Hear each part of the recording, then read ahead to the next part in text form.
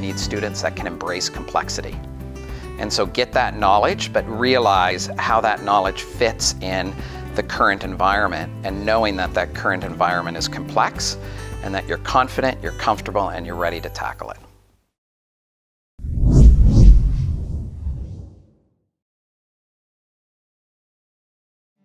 So my name is JD Clarke and I'm the Executive Director of Master's Programs at the Ivey Business School at the University of Western Ontario in London, Ontario, Canada. So I will share something. I've been in higher education for years and I think what I love about this job is you're in the dream business and you're making it come true. You know, part of taking an MBA is this leap of faith that people have.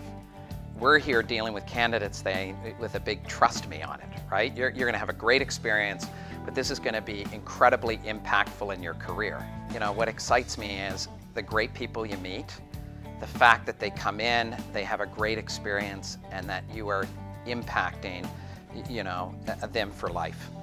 What I love about Ivey is the culture. We live in a small city. Uh, you know, it's a university city, so the university has a big impact of it, but there's a community culture about Ivey people are just there to support each other and to pay it forward. And we have incredibly strong alumni. It's unbelievable, like anytime you call an alumni or even a faculty member, whoever within the community and ask them for help, you, you know, they are there to help and to support you. So I think being involved in that community is really exciting. And I also think the practicality of the way that we teach. It's this whole element that, you know, it's not just about taking the theory and being able to memorize. It's that whole thing about applying it. So our classroom environment is based on a discussion-based environment using the case study methodology approach. So it's really about, you know, taking the learnings and the concepts and putting you in an environment where you have to be a decision maker every day you walk into class about a real business issue and a real business problem. So you're not only just getting the knowledge aspect of things, you're walking out getting the experience as well.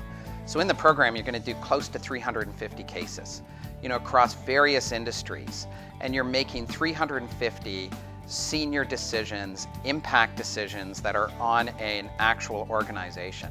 How programs need to adapt is they need to make sure that students are taking that knowledge, that they're becoming you know, much more strategic in their thinking. And again, you know, not just being model takers, you know, learning a model and then just trying to fit it in a certain situation, is becoming model makers. The best analogy I use is I have a neighbor who's a pilot. And you know, when they are training, you can do a very easy thing in a pilot. You can get, you know, the manuals and, and know how to fly, but you don't know those intricacies and those different things until you sit in a flight simulator. And what we do is we put people in a corporate flight simulator as they're going through our program. You know, they're, they're applying their learning in our program, not when they first get out in that first job. So they make their mistakes and they make a lot of learning in that you know, time that they're in our program. And you come out being confident decision makers. And that's what makes leaders great, are the leaders that not only have good judgment, they have good wisdom, and they're very, very strong decision makers a theme that I think applicants make a mistake is they give you the answers and the information they think you're looking for rather than being authentic. When they get to an interview stage, just as if you're going for an interview for a job, if it's not an authentic story, the minute that you're asked follow-up questions or you're asked to describe it more or how you felt, you know, if that's not an authentic thing that you experienced, it starts to collapse around you. So what you want to do is you want to be, you know, authentic. You want to make sure that what you're sharing is something that matters to you and what matters most to you. And then the second one I will talk about is, you know, just as people like as they're looking at business schools, you know, what what people have to do is going into this MBA is really think about what matters most to them. You know, what matters most to them out of a program, what matters most to them career-wise, and, and you know, frame your decision making and frame your interactions around the school by looking at, you know, what matters most to you.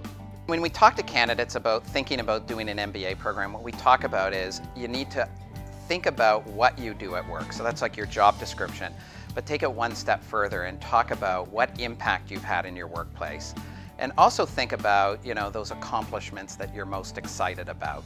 So what we're doing is looking for individuals that are passionate, passionate about what they've done, passionate about the successes they've had, and really focusing on, you know, what's been their impact to date and, and what are those accomplishments they're the most proud of.